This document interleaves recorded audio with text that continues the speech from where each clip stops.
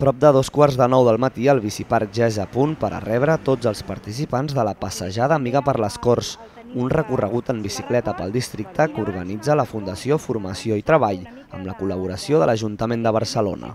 Anirem parant amb els, amb els llocs més emblemàtics, més importants, explicarem eh, quatre coses dels, dels diferents llocs on, on anem passant i finalment acabarem doncs, en aquesta festa de la primavera. Tot i que hi ha qui arriba amb la seva bicicleta, des de Biciparc en cedeixen una a qui ho necessita.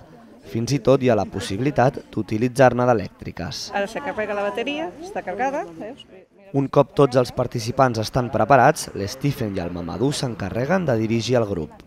Precisament un dels objectius d'aquesta activitat és donar responsabilitats i ajudar a incloure a persones amb risc d'exclusió social. La reacció és positiva i per a mi mateix és una mica d'impuls positiu, positiu per continuar.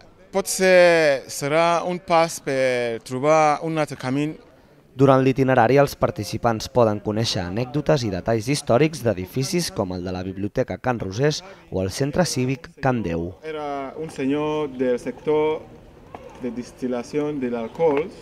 L'activitat és gratuïta i està oberta a tothom.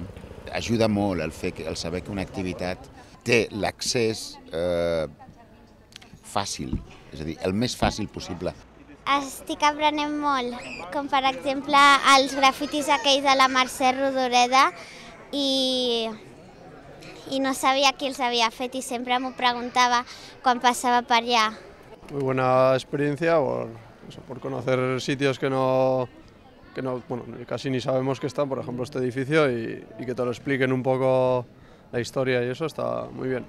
A més d'aquesta ruta per les Corts, també es duen a terme passejades modernistes i de cara a l'estiu la Fundació en prepara una per la platja.